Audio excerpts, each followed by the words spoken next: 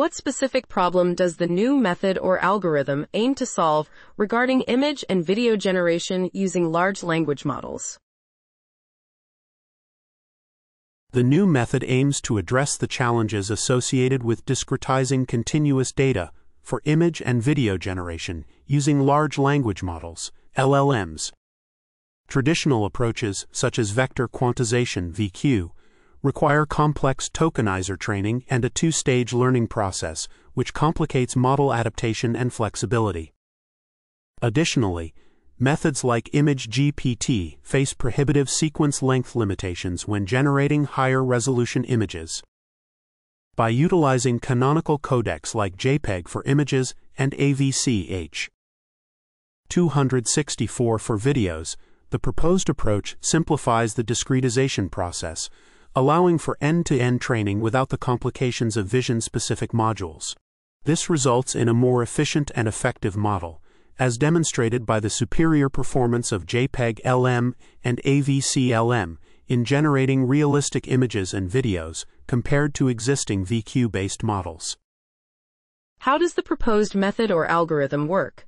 Illustrate step by step, including how the encoding and decoding processes function with JPEG and AVC codecs. The proposed method utilizes canonical codecs, specifically JPEG for images and AVC H264 for videos, to simplify the autoregressive generation process in large language models, LLMs.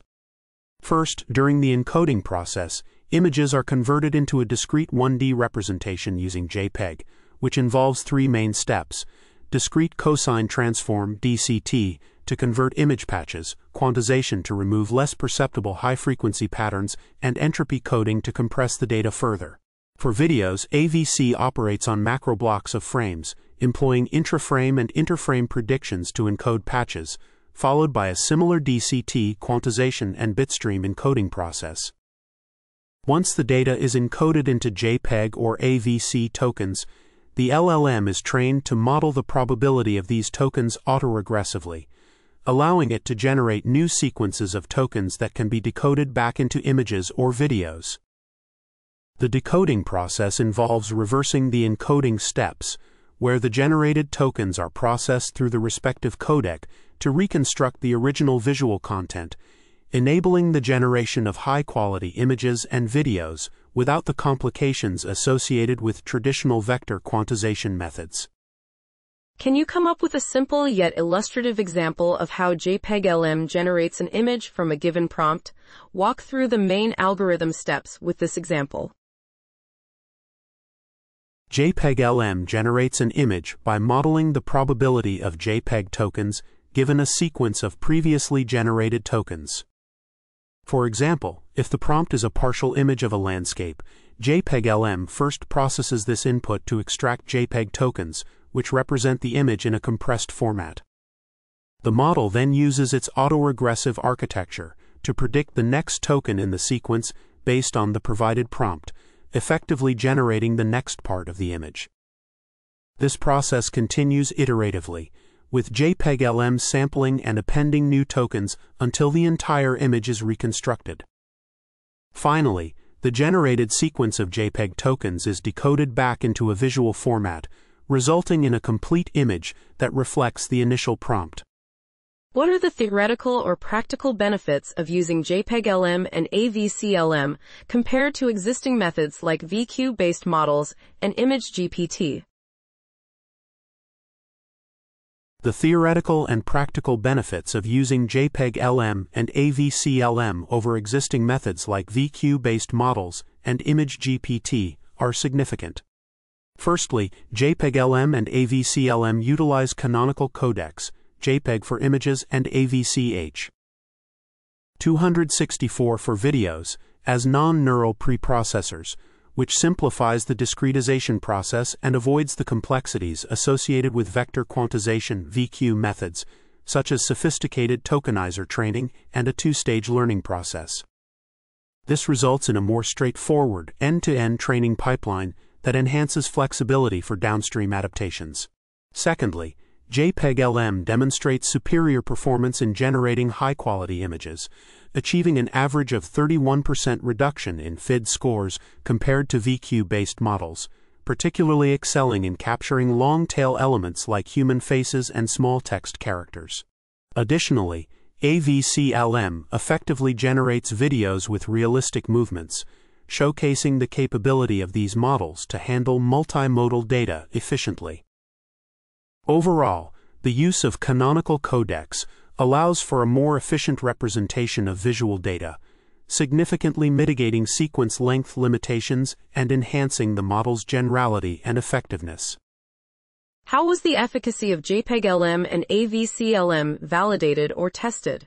Discuss the experimental design, datasets used, and performance metrics.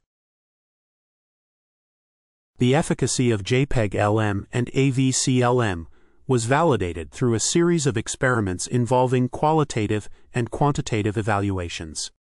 JPEG-LM was pre-trained using 23,256 by 256 images, while AVC-LM was pre-trained on 2,256 by 144 videos, with both models utilizing byte pair encoding BPE to create their respective vocabularies.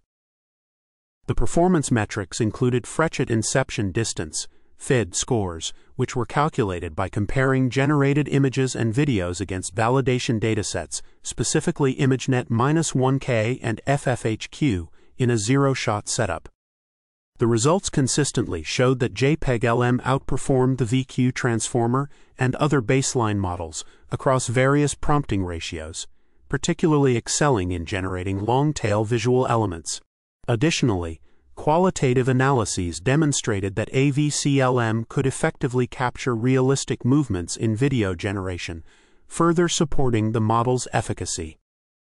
What specific results were achieved with JPEG-LM, particularly in terms of FID scores and the generation of long-tail elements in images?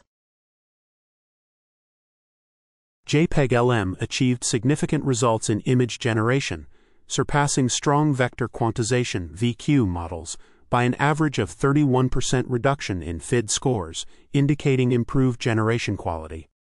In quantitative analyses, JPEG-LM demonstrated a statistically significant correlation between its performance and the frequency of image classes, excelling particularly in generating long-tail elements, those less frequently represented in training data.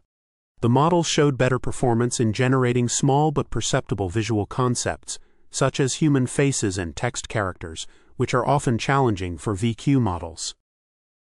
Specifically, JPEG-LM maintained robustness in generating these long-tail elements, achieving superior FID scores compared to VQ transformers, especially for classes with lower internet frequency. Overall, JPEG-LM's architecture and approach allowed it to effectively capture and generate complex visual details that are critical for long-tail distributions.